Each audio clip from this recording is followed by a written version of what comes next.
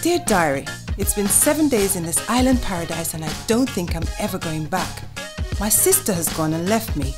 My dad keeps calling, but I just can't get enough of the sugar cane.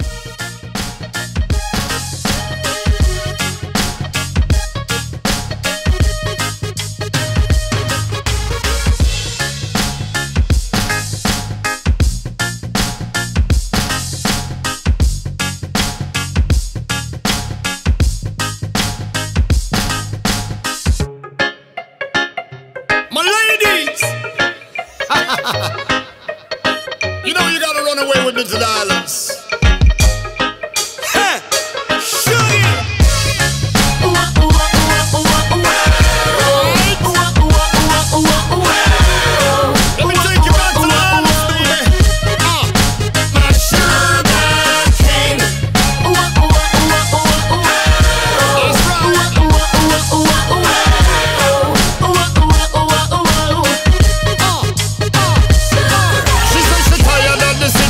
Says she wants a simple life. Tell me, says she need me one for second down and be my wife. Introduce her to the island life.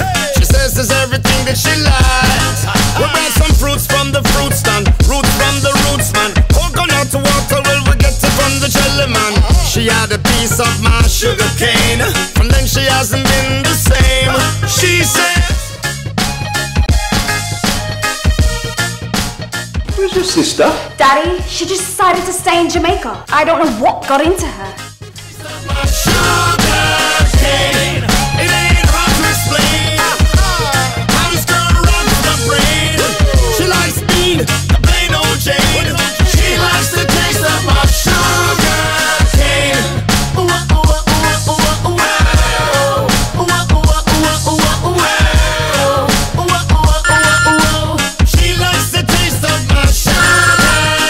Hello? Who's this? Let me speak to my daughter immediately. Chantel is busy now. She's enjoying some sugar cane. Enjoying some what? Let me speak with my daughter right now. You are in tune for our time now, big man. Later. Hello? I think that was your pops.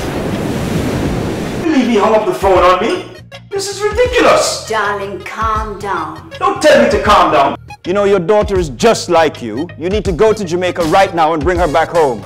I will go to Jamaica and I will return with our daughter. It will be all right. Sugar cane. She likes the taste of my sugar cane.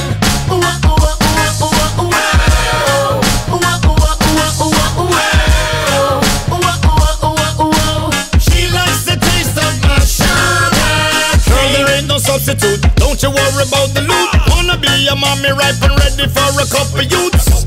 Forever on this island cruise.